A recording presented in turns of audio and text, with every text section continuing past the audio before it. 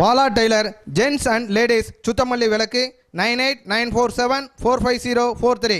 வணக்கம். தினதரணி செய்திகள்.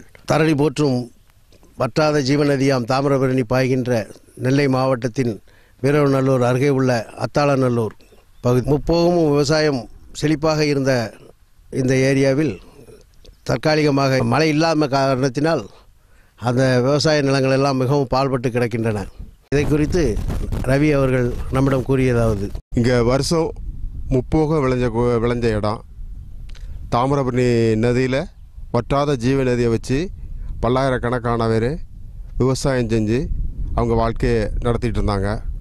ஆனால் இந்த இந்த வருட கடும் வறட்சினால் விவசாயமே இல்லாமல் விவசாய நிலங்கள்லாம் பாலம் பாலமாக வெடித்து ரொம்ப விவசாய மக்கள் ரொம்ப சிரமப்படக்கூடிய நிலமையில் இன்றைக்கி இருக்கிறாங்க. கட் பண்ணுங்க. சீமக்கருவேல மரங்கள் வந்து இப்போ இன்றைக்கி விவசாய நிலத்தில் முளைச்சிருக்குது. விவசாயம் இல்லாதனால அது வேற நீரை உறிஞ்சிக்கிட்டு விவசாய நிலத்தை பால்படுத்திக்கிட்டு இருக்குது.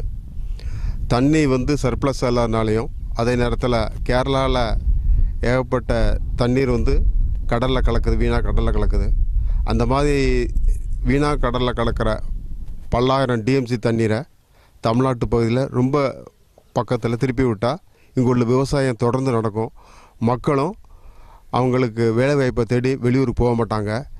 இது கொஞ்ச நாளில் இதே நிலைமை நீடித்தா இந்த இடம் பாலைவனமாக மாறுறதை தவிர வேறு வழி இல்லை.